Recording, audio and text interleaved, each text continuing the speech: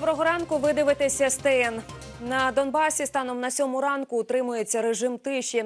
Учора під час бойових дій поранення зазнав один український воїн. Проросійські окупанти минулої доби 11 разів порушили режим припинення вогню.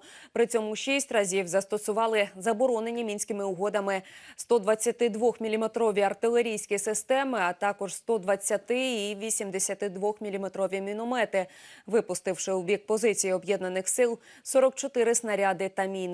Також у бік оборонців України вівся вогонь із протитанкових ракетних комплексів, гранатометів, великокаліберних кулеметів і снайперської зброї. Генеральна прокуратура України передала Національному антикорупційному бюро частину матеріалів кримінального провадження щодо схеми з фіктивною закупівлею деталей для виробництва української зброї ще в 2017 році. Про це в середу заявив генпрокурор України Юрій Луценко в контексті корупційного скандалу з розкраданням бюджетних коштів в оборонній сфері, про яке раніше повідомили журналісти.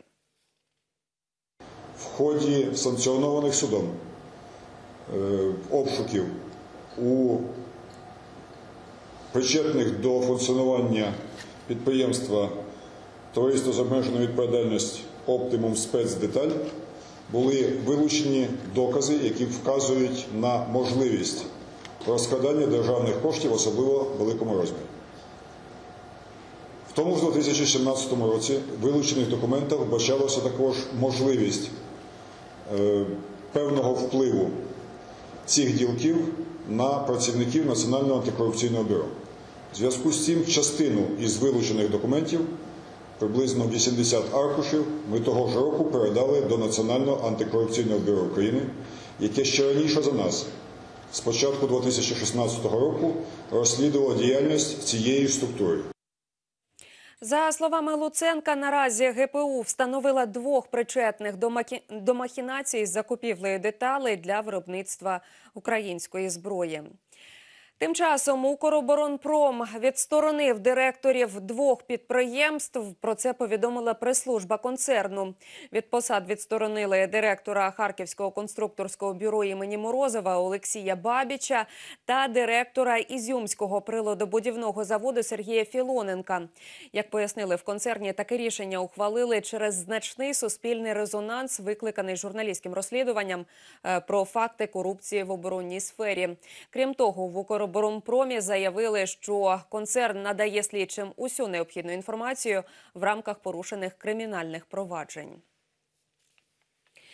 І сьогодні набуває чинності закон про заборону росіянам спостерігати за виборами. Його напередодні офіційно опублікували в голосі України.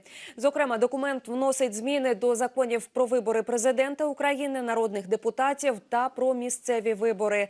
І визначає, що офіційним спостерігачем від іноземних держав та міжнародних організацій не може бути особа, яка є громадянином держави, котра визнана Верховною Радою державою агресором або державою окупантом окупантом. Рішення Конституційного суду про скасування статті Кримінального кодексу про незаконне збагачення означає, що всі кримінальні провадження в частині, що стосуються власне цього самого незаконного збагачення, будуть закриті. Про це повідомляє прес-служба НАБУ. Наразі детективи бюро розслідують справи на загальну суму понад півмільярда гривень у межах 65 кримінальних проваджень. Серед осіб, статки яких викликають питання про законність джерела походження, чимало суддів, прокурорів, народних депутатів, колишніх та чинних керівників органів державної влади. Йдеться у повідомленні. Бюро назвало таке рішення конституційного суду політично вмотивованим. Україна не братиме участі в Євробаченні 2019. Цю заяву зробило НСТУ після того, як уже третій претендент на участь в міжнародному пісенному конкурсі від України відмовився брати в ньому участь. Нагадаю, колізія сталася, коли переможницю нацвідбору Маров не влаштували умови договору із суспільним мовником. Після цього брати участь у Євробаченні почергово відмовилися інші претенденти: гурти Фрідом Джаз, Казка та Брюнет Щуцблонд. Через грип та ГРВІ навчання наразі призупинене у 24 столичних школах, із них повністю у 7 і частково у 17. При цьому у столиці фіксують зниження захворюваності на грип та ГРВІ майже на 12,5%. Про це повідомив перший заступник голови КМДА Микола Поворозник.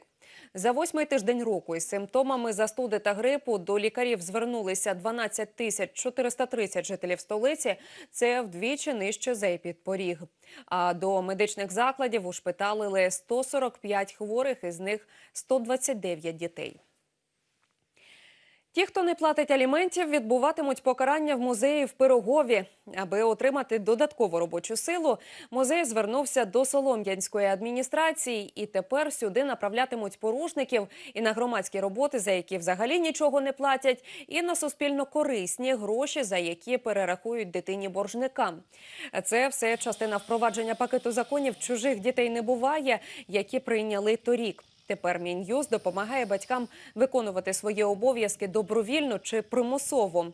У виконавчій службі нині нарахували більше 4 тисяч столичних злісних боржників.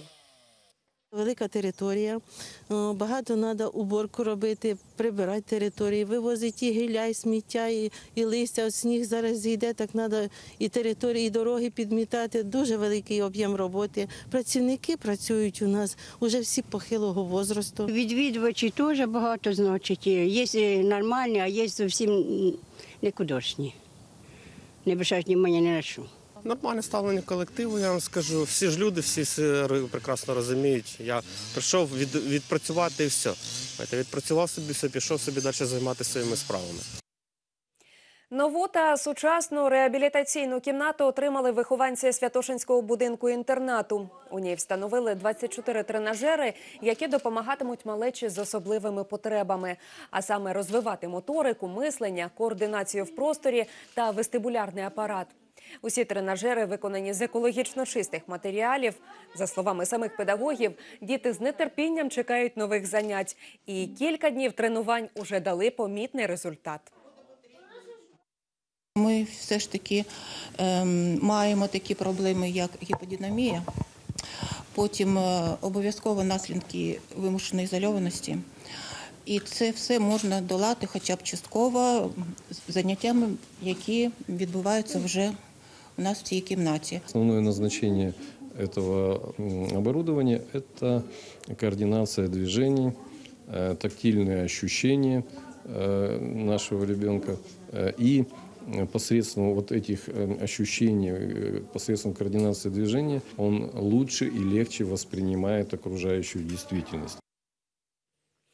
Київським підприємцям вручили перші сертифікати Bike Friendly Company міської програми велодружнього бізнесу.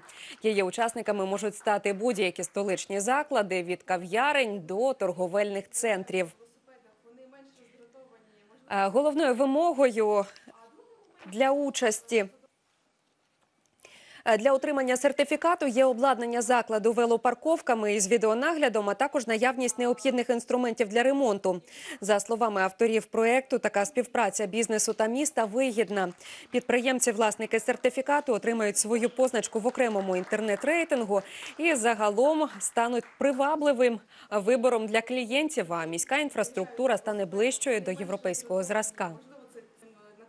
Підрахунок останній, е, останнього року велосипедистів Києва показав, що е, кількість велосипедистів зросла на 40%. На 40%. Е, Це показує, що є попит. Люди готові обирати альтернативний засіб пересування, але нам потрібна ще і допомога від бізнесу. Адже велокористувачі це і їхні клієнти, або це їхні потенційні клієнти, які до них ще не завітали, тому що в них немає відповідної велоінфраструктури. Це нам допомогло знайти кращі підходить до клієнтів, зблизитись з ними. Вони е, відвідують наші заходи, наші велотури. е, Вони бачать, що ми не тільки юристи, а ми велодружня компанія, яка піклується про громадські ініціативи. Киян закликають не купувати первоцвітів. У столичній мерії нагадали, що незаконний збір і продаж рідкісних, занесених до червоної книги ранньоквітучих рослин заборонені законом. Штрафи за торгівлю первоцвітами становлять від 1700 гривень до майже 3700. Однак в управлінні екології та природних ресурсів КМДА кажуть, покарання зовсім незначне для порушників. Саме тому, купуючи проліски в метро або на зупинках громадського транспорту, кожен ризикує стати співучасником знищення природи. Наразі від Київської міської ради напрацьовано проект е, е, рішення і зареєстрований він вже в Верховній Раді про збільшення взагалі штрафів і е, взагалі внесення змін до кодексу про адміністративні правопорушення і приблизно в 40 разів збільшити як для фізичних, так і для юридичних осіб, збільшити оцю відповідальність. Є першоцвіти, які не занесені до червоної книги, але вони теж, так сказати, охороняються місцевими червоними списками. До червоного списка міста Києва належать канвалія, е, належить е, гусіний лук е, та інші рослини, які не попали в червону книгу, але теж є рідкісні, тому їх продавати не можна. Матч Динамо Челсі поб'є рекорд відвідуваності, встановлений під час протистояння білосиніх із Олімпіакосом. Тоді на Олімпійському зібралися 49 тисяч вболівальників.